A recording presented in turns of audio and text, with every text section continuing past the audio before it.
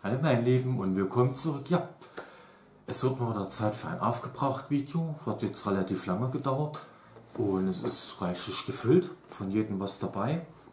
Und da fangen wir jetzt einfach mal an. Und zwar habe ich ein Hausformaler bekommen von Yengi und das ist mein Lieblingsduft, der Alfresco Afternoon. Das ist so ein tanniger Duft mit so einer schönen Orangennote mit bei. Und gibt es auch noch gut zu kaufen, der ist auch relativ intensiv. Und das war jetzt mein letztes Glas gewesen. Ja, das ist schön grüner Duft mit einer ordentlichen Portion Orangennote. Und ja, den kann ich eigentlich total empfehlen. Und der ist leer geworden. Dann ist ein Textilerfrischer leer geworden von ähm, Sensi. Das ist der Snow Kisses Cranberry und ich fand den jetzt nicht so aufregend. Das war jetzt auch mein erster äh, Textilspray. Und ja, ich weiß nicht, ich komme damit nicht so zurecht irgendwie. Irgendwie zieht das auch nicht so wirklich ein, die Klamotten. Irgendwie, das ist dann so wie so komischer, klebriger Film, finde ich. Ich, ich bin mal gespannt. Ich habe noch einen anderen, den einen Sommerduft. Mal gucken, wie der ist, aber weiß ich nicht. Den habe ich, glaube ich, mal in der Schatztruhe gekauft. War jetzt nicht so mein Knaller, weiß ich nicht. Bin nicht so klar gekommen damit. Könnt mir gerne Kommentare schreiben, ob ihr schon den Textilerfrischer äh, geruchsbeseitigter Textilerfrischer, ob ihr den schon mal probiert habt. Egal jetzt von welcher äh, Duftkategorie. Äh, also, weiß ich nicht. Hätte ich mir mehr darunter vorgestellt. Dann habe ich zwei Tester bekommen von Manufaktur Blaukatz. Einmal den Mango Milkshake. Den hatte ich im, Schlaf äh, im Bad angehabt. Und einmal der Cotton Candy Kitten. Das war so schon ein süßer Duft gewesen. Und der Mango Duft, der war auch schön authentisch Mango-mäßig. Wirklich wie so Mango-Eis eigentlich eher. So Mango-Sorbet. Dann von Römer Kreation den Lime Colada, den hatte ich auch im äh, Bad angehabt. Das war so schöner Limettenduft.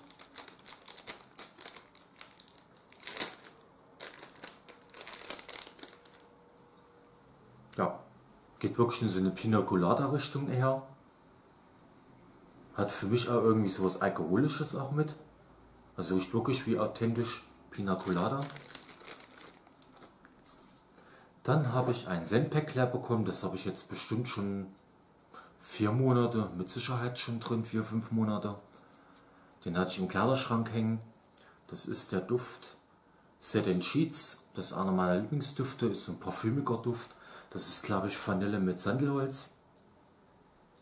Man riecht nicht mehr gar viel, noch ein bisschen was. Schöner parfümiger Duft, vanilliger Duft. Viel riecht man nicht mehr, aber der war schön gewesen. Hat auch extrem lang gehalten. Wie gesagt, ich habe den jetzt glaube ich vier Monate drin gehabt und ja, war geil. Dann habe ich noch einen Sendzirkel leer gekriegt von Luna. Die halten ja ungefähr einen Monat ungefähr. So Pi mal Daumen, da habe ich jetzt einen in meinen Spind hängen und einen habe ich jetzt in meinen Kleiderschrank hängen. Als Ersatz zu diesem hier. Der hält natürlich länger die Sandpacks. Die halten ungefähr angeblich einen Monat, aber muss ich mal gucken, bin ich mal gespannt, wie lange die halten. Das ist auch so ein parfümiger Duft, ist ein Klassiker Duft. Hier habe ich nochmal Luna. Das ist der, der bei mir noch in Spind hängt zurzeit. Dann habe ich ein Scent Quam Wax Quam Lab bekommen für Village Candle. Das ist der Togetherness. Das war auch so ein parfümiger Duft, den hatte ich im Schlafzimmer angehabt. Der hat da gut hingepasst. Auch ein bisschen cremig. Und dann nochmal einen von Village, der Frosted Lavender. Den hatte ich gestern in der Lampe, auch im Schlafzimmer. So ein schöner authentischer Lavendelduft. Bisschen so geeist, bisschen kühl. Riecht total geil. Dann ein Sensibar Make Splash, den hatte ich im Bad angehabt. Das ist ja einer der neueren Sommerdüfte. Da habe ich ja auch noch meine Handcreme davon. Der geht aber, glaube ich, jetzt raus ab August. Und das ist schöner Melonenduft, wässrig, süß. Ich glaube, da ist auch Gurke mit drin. Sehr geiler Duft, kann ich sehr empfehlen. Dann einmal Kiwifruit und der war geil gewesen. Also hatte ich nicht so geil in Erinnerung gehabt. Den hatte ich im Wohnzimmer angehabt, aber in meiner normalen Duftlampe, also in meiner Teelichtlampe. Und da ist der wirklich richtig gut gekommen. Hat drei Tage komplett durchgeballert. Schöner Kiwi-Duft, hat man selten solche Düfte. Dann nochmal ein Wachsquam von Ghost Creek.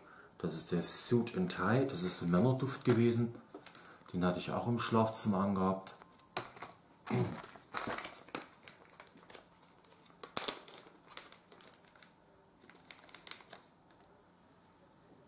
Ist ein schöner, ja, so Parfümduft, Aftershave-Duft, wie auch immer. Dann habe ich leer bekommen der Just, Just Bright, den hatte ich im Tauschpaket gehabt. Da waren nur noch zwei Würfelchen drin. Das ist also ein frischer Pfefferminzduft. Auch sehr geil, hatte ich auch im Bad angehabt. Ich kannte ihn selber noch nicht. Dann von EBM Quation Egyptian Musk. Den hatte ich auch im Schlafzimmer angehabt. Ich bin jetzt nicht so klar gekommen mit der Marke irgendwie, das war mir zu schwach. Die haben relativ hartes Wachs, aber weiß ich nicht, komme ich nicht so zurecht damit. Riecht wie der von Yengi 1 zu 1. Dann ein Sommerduft von Sensi, der Peach and Balm Trees, den habe ich jetzt leer bekommen.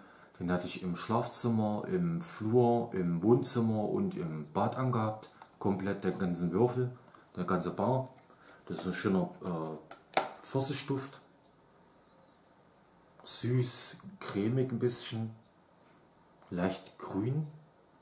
Ja, schöner Duft. Ich glaube, der geht aber auch raus. Einer, der auf alle Fälle. Ach nee, das war der andere gewesen. Der Love Happiness von Bring Back My Bar. Ich glaube, den hatte ich auch mal im Tauschpaket gehabt. Den kannte ich nämlich auch noch nicht. Und den habe ich gar nicht mehr wahrgenommen. Ich glaube, der ist schon zu alt. Das war auch undefinierbar, der Duft, also weiß ich nicht. Konnte ich nicht zuordnen so richtig. Dann ein Herbstduft, den ich leer bekommen habe, das ist der Fairy Tale Pumpkin. Den gab es ja letztes Jahr. Das ist der mit Lakritze und Kürbis. Das war Monatsduft gewesen. Der kommt, glaube ich, aber wieder ab August. Ja, der ist geil. Den hatte ich auch schon im äh, Schlafzimmer an. Schöner Kürbisduft, cremig. Und dann kommt die Lakritznote durch. Gerade so im Herbst, Halloween, mega. Dann einer der Osterdüfte. Das ist der Blaubeer Burst. Und der riecht eigentlich eins zu eins so ein bisschen wie der Blaubeer Cheesecake. Ja, bloß hier kommt mehr die Blaubeere durch, bei den anderen kommt mehr Cheesecake durch.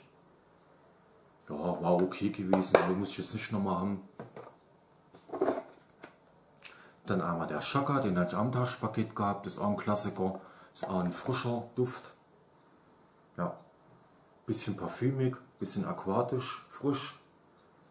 Den hatte ich auch im Schlafzimmer angehabt. Dann hatte ich noch ein Sandpack angehabt und zwar von Susi und Strolch, der Faithful and Friends. Da habe ich ja noch zwei, drei Bars davon. Der ist auch komplett aufgebraucht. Riecht aber nicht, fast nichts mehr. Ist ein fruchtiger Duft mit, ich glaube, mit einer Floralnote. Ja, riecht man nicht mehr viel. Dann ein Country Candle von, ähm, äh Quatsch, ein Daylight von Country Candle so rum. Spiral Aloe. Ist also ein klassischer äh, Badezimmerduft, der war auch richtig intensiv. Ja, wirklich wie Aloe Vera, wie so eine Bodylotion. Bisschen aquatisch, aber ganz leicht nur. War mega. Ja, fand ich geil. Dann habe ich ähm, von der Männerkollektion, Männertagskollektion, habe ich einmal den Business Casual leer bekommen. Ja, hat mir nicht gefallen, war mir zu schwach. Ist auch so leicht rauchiger, parfümiger Duft. Hat mir null gefallen, war mir viel zu schwach. ich den My Dear Watson, der gehört auch in der Männertagskollektion. Auch, auch kaum wahrgenommen. Keine Ahnung, hat mir überhaupt nicht gefallen, also würde ich nicht wieder nachkaufen. Dann hatte ich den, ich glaube ich hatte noch einen, ne, habe ich gar nicht drin. Dann habe ich von Woodwick, den hatte ich aber glaube ich auch im Tauschpaket gehabt, das ist der Black Amber ein Citrus. Den hatte ich jetzt schon öfters angehabt, der passt absolut ins Schlafzimmer.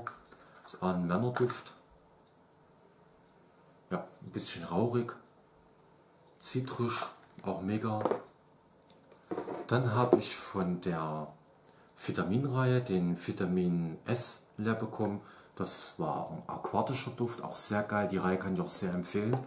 Gibt es aber nicht mehr, glaube ich. Das war richtig aquatischer, floraler Duft. Bisschen frisch. Ja, mega. Hat sehr gut im Bad gepasst. Dann habe ich von The Mandalorian Art of Adventure, den wollte ich mal testen, weil der alle total gehypt wird, aber ich muss sagen, ich fand ihn jetzt nicht so toll. Ich hatte ihn im Schlafzimmer angehabt und im Bad.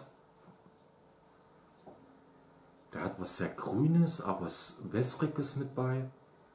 Aber der war mir viel zu schwach gewesen. Also ich finde den anderen schöner, den Darkside. Dann hatte ich Pi Oh My. Ich glaube, das war auch an der Männerdüfte, wenn ich mich jetzt nicht täusche. War das einer? Ich weiß es gar nicht mehr. Oder war das ein Tauschpaket gewesen? Nee, das war, glaube ich, ein Herbstduft gewesen. Letztes Jahr. Glaube ich. Jedenfalls riecht das sehr gewürzlastig und fruchtig, spritzig. War auch sehr schön, auch sehr intensiv. Dann ein, den ich auch im äh, Taschenpaket hatte, das ist der Litchi Sorbet. Und der riecht nach Litchi. Für mich auch ein bisschen zu schwach gewesen. Also ich habe nicht viel wahrgenommen von dem Duft, obwohl ich immer zwei, ich mache immer zwei Blöcke rein bei mir. Dann von Country Candle den Blueberry Cream Bob. Der geht auch in so eine ähnliche Richtung wie der Blueberry Cheesecake. Bloß ohne die Cheesecake nur. Das geht eher in so eine Gelato-Richtung, so eine Eisrichtung.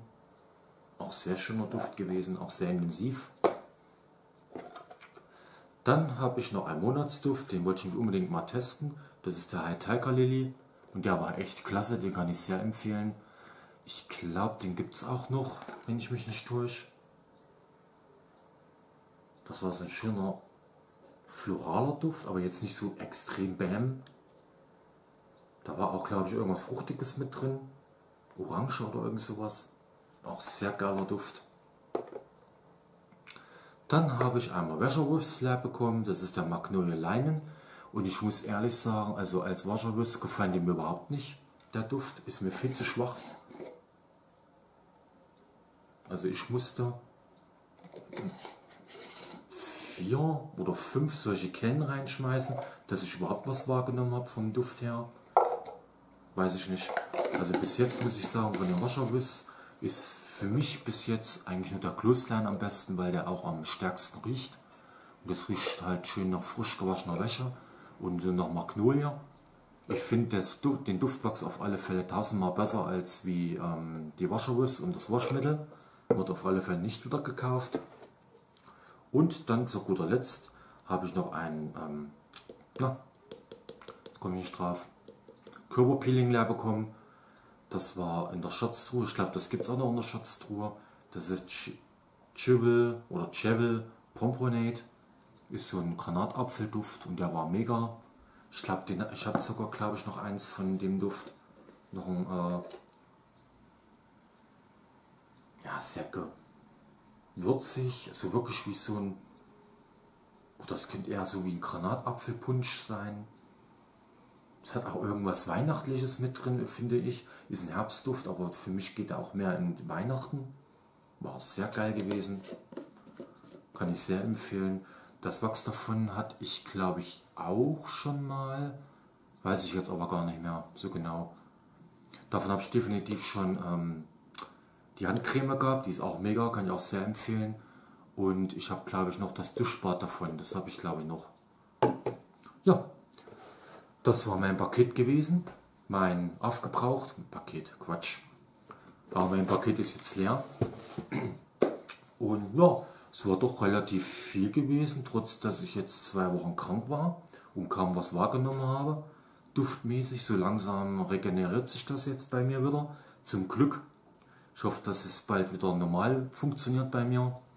Und ja, schreibt mir doch gerne in die Kommentare, äh, was ihr alles so leer bekommen habt was ihr leer bekommen wollt. Und würde sagen, bis zum nächsten Mal. Bye bye.